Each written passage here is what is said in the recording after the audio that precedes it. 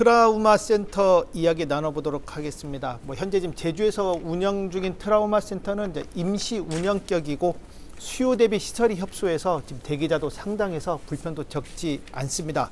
그래서 이제 국립 트라우마 센터에 대한 기대가 큰데 언제쯤 어느 규모로 문을 열게 됩니까? 예, 이제 뭐 사실 늦은 감이 있죠. 있는데 2021년 말에 아, 국립국가폭력 트라우마 치유센터 설립 및 운영에 관한 법률이 제정이 되면서 어, 이건 법적 근거가 마련이 되었고요. 네. 그래서 어, 저희가 이제 현재 트라우마 센터 그 설치를 설립을 위해서 이제 공사 중에도 있고 있는데 네. 사실은 그 전 2020년부터 사회자님께서 말씀해 주신 것처럼 저희가 치유 활동을 위한 위탁 사업비를 광주하고 어, 제주에 제주, 예. 어, 지- 우선적으로 지원을 해 오긴 했습니다. 지금 현재는 제주의 경우에는 13명의 정원으로 해서 이제 그 트라우마 센터가 운영 중에 있고요.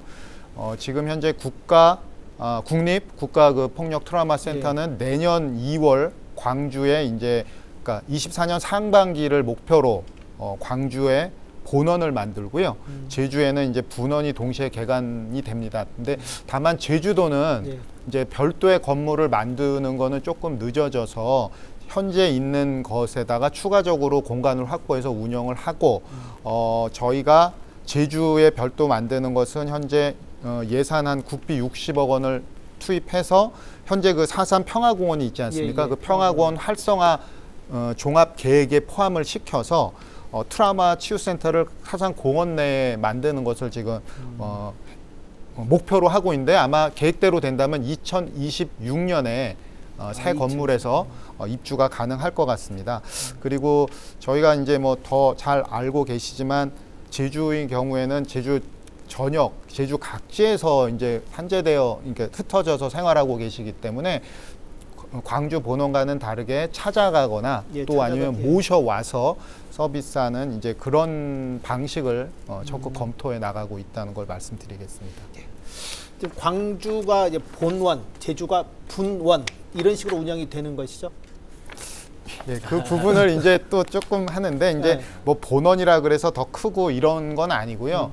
이제 저희가 이게 전문가 자, 이 전체적으로 트라우마 계획을 세울 때 전문가들 자문을 구해 보니까 예. 아, 이제 이게 더 확대될 수도 있는 부분이 있고 해서 본원과 저 분원이 사실상의 어떤 기능은 똑같지만, 똑같지만. 총괄 조정 기능과 그다음에 향후 그러니까 앞으로도 트라우마 센터가 어떻게 발전돼 나가는 그 연구 기능을 본원에 좀 들어가 있다 이렇게 음. 예. 아, 이해해 주시면 될 것 같고요.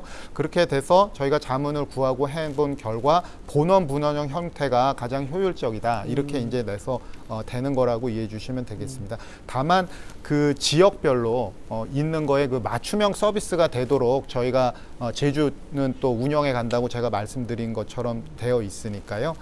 어, 뭐 그 부분을 잘 활용하면 효과가 나고 또 운영해 가면서 또 여러 가지 어, 애로점이나 개선 사항이 도출된다면 그때 그때 바로 반영하는 것으로 이렇게 운영하려고 네. 하고 있습니다. 지금 제주가 13명 지금 정원으로 운영되고 있는데 현재 예, 예. 앞으로 아. 국립으로 되면 이 규모도 많이 커지겠죠. 지금 예.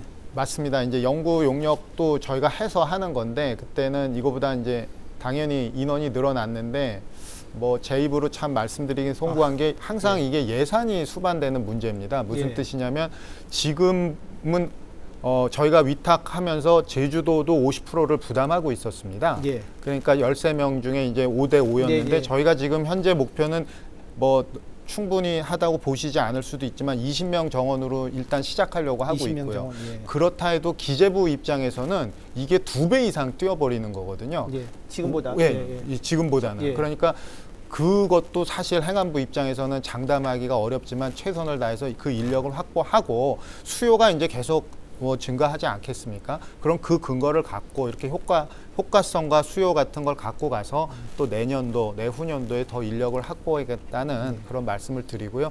만약에 이제 수요가 너무 넘쳐난다면 저희가 제주도하고 좀 더 협의를 해서 당분간 한시적으로라도 제주도에서 좀 인력 지원을 해달라는 거를 좀뭐 이거는 그냥 지금 예, 예. 말씀드리는 건데 협의를 또 해 나가도록 해서 그 희생자 제주에 있는 희생자분들이 더 뭐 이게 국립으로 만들어졌는데 어, 위탁 때보다 못하다 이런 얘기가 나오지 않도록 그렇습니다. 잘 챙겨보도록 그렇게 하겠습니다.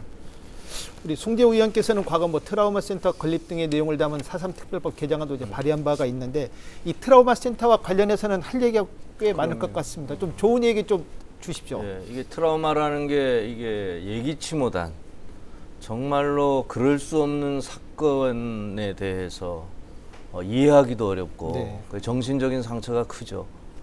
어, 제주 4.3도 광주와 마찬가지로 국민의 생명과 안전을 보호해야 되는 국가의 군경이 민간의 양민을 학살한 사건이거든요. 예. 그러니까 이게 그걸 겪은 사람은 그건 도무지 납득이 안 되는 그러니까 아마 전 생애에 걸쳐서 굉장히 깊은 상처 속에서 살아야 되는 거고요. 예. 제주 4.3 같은 경우는 어, 당시 우리 인구가 25만 명일 때 네. 돌아가시거나 부상당한 분이 많게는 8만 명 정도 됐으니까 네. 전 도민이 사실은 이 트라우마에 시달린다고 봐도 되는 그런 사안이고 그것이 70년이 지난 지금에서 그래도 남은 부분에 대한 상처를 좀 치유해야 된다 네. 해서 이제 트라우마 센터를 하는 거고요. 가장 근래는 이제 40년 전에 40여 년 전 광주가 우선 시급하기 때문에 광주도 역시 광주 시민 전체가 사실은 정신적 고통에 있다고 봐도 틀리지 않죠. 그래서 광주와 함께 하는 건데 그게 본원이냐 분원이냐 의미는 중요치 않고요. 왜냐하면 국립 트라우마 센터는 하나를 해야 되는데 그걸 뭐 네. 예, 뭐두 개를 국립으로 할 수는 없잖아요. 그러니까 하나를 두 군데에서 논아서 한다 이렇게 보시면 될 것 같고요. 그래서 또 제주 트라우마 센터가 뭐 분원적으로 광주에 무슨 종속되거나 무슨 광주의 작은 무슨 부사장 같은 이런 거는 아닙니다. 그러니까 어, 따로 성격도 좀 다르고 따로 한다고 보면 되고 어, 말씀드렸듯이 이제 어, 정부 초창기 입장은 우리 지금 13명으로 하고 있는데 어, 우리 제주도나 우리는 27명을 이제 정도가 좋겠다 했는데 어, 중간적 단계로 예산 상황이나 이걸 봐서 20명으로 지금 출발을 네. 하고 있고요. 또 필요하면 어, 20명으로 해서 하는데 이게 더욱더 수요가 많고 많은 부분이 있으면 저는 제주도 정부도 이건 나라만 할 게 아니거든요. 우리 네. 도도 들어서서 좀 적극적으로 개입해서 하면 저는 뭐 충분히 이런 부분들은 잘 이제 할 수 있겠다 이렇게 싶고 어, 이런 트라우마 센터가 꼭 국가 폭력뿐만이 아니라 더 나아가서 여러 가지 정신적인 장애나 공, 공공적인 부분에까지 확대될 수 있는 여지가 있기 때문에 저는 제주 트라우마 4.3 트라우마 센터가 굉장히 좋은 전례 출범이 되리라고 생각합니다. 네.